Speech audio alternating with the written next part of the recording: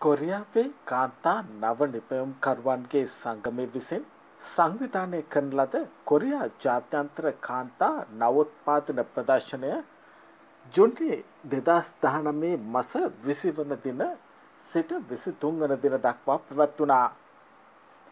එහිදී ලෝකයේ රටවල් තිස් අටක් නියෝජනය කරන නවෝත්පාදන තරංකරුවන් සිය ගණනක් අභිබවා යමින් කාන්තා සනීපාරක්ෂක තුවා සහ ආරක්ෂිතව බැහැර කරන අනෙකුත් ජව්‍ය අපද්‍රව්‍ය කාරක්ෂම දහනය කිරීමේ යන්ත්‍රයක් නිපද වූ ශ්‍රී ලංකා යුද හමුදාවේ කාන්තා සෙබල ලාන්ස් කෝප්‍රල් ජේසි නිශාන්ති නවෝත්පාදන තරගේ ඉංජිනේරු අංශයේ ෘදී පදක්කම දිනා ගැනීමට සමත් වුණා.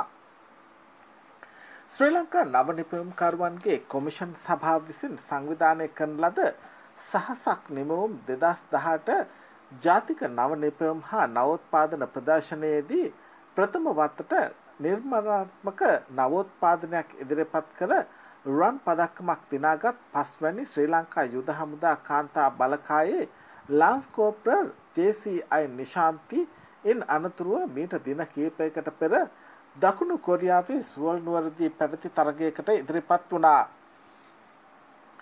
ශ්‍රී ලංකා නව නිපැයුම්කරුවන්ගේ කොමිෂන් සභාව විසින් ඇයගේ නව නිපැයුම් ජාත්‍යන්තර ප්‍රමිතීන්ට අනුගතව සකස් කර යුද හමුදාව නියෝජනය කරමින් කොරියා ජාත්‍යන්තර කාන්තා නව නිපැයුම් ප්‍රදර්ශනය දෙදස් දහනමය සඳහා ඉදිරිපත් කිරීමට කටයුතු කරනු ලැබුවා.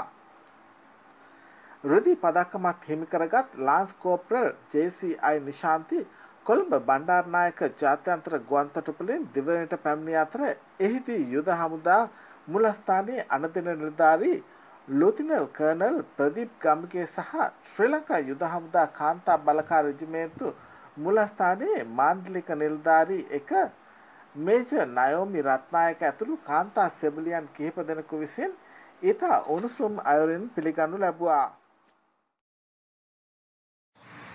යාළුවනේ ඔයාලා තවම අපේ channel එක subscribe කරලා නැද්ද? එහෙනම් subscribe button එක ඔබලා subscribe කරන්න. සීනුව සලකුණ ඔබලා දිනපතා අපගේ නව වීඩියෝ බලන්නත් ඔබට අවස්ථාව තියෙනවා.